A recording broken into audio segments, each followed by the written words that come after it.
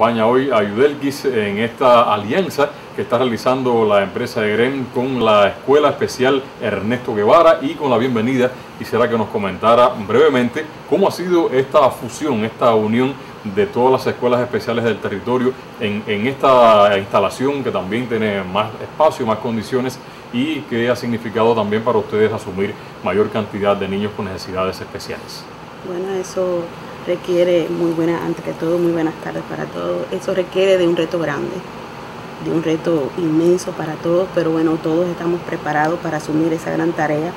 que nos ha dado, nos ha dado la revolución. Realmente de una matrícula que teníamos de 90 estudiantes, anteriormente teníamos, era una escuela para sordos y hipoacúsicos, actualmente ya tenemos todas las discapacidades, es decir, asumimos todas. Eh, la unificación de las escuelas Félix Varela y la escuela eh, Graciela Bustillo. Hoy contamos con una matrícula de 272 educando, donde tenemos todas las discapacidades, discapacidad intelectual, trastorno del espectro autista, discapacidad visual, discapacidad auditiva y eh, todas las discapacidades, contamos con todos ellos. Realmente es un reto grande, pero bueno, como dice la educación especial, es una sublime profesión de amor y la asumimos con un gran reto. Ahora, quisiera que nos comentara qué significa para la escuela que la EGREN, con estos otros patrocinios que tienen con las MIPIMES y el proyecto Todo por Santiago, pues haya decidido hacer justamente un concurso con sus estudiantes que tanto quizá necesitan sentirse de esta manera estimulados. Bueno, sí, fue de gran impacto cuando ya ellos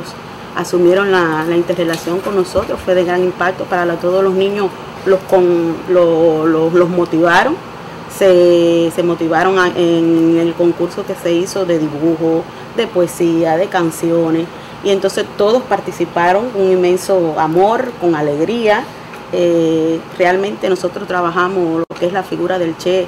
eh, en el concurso, pero además, como llevamos el nombre de nuestra institución educativa Ernesto Guevara de la Serna, sí lo estamos trabajando desde una dosificación, desde las primeras edades de que entran los educandos, porque entran desde la primera infancia hasta que culminan el sexto grado. Y sí, trabajamos todo lo que es la biografía del mártir hasta que ellos conozcan y lleven a cabo todo lo que es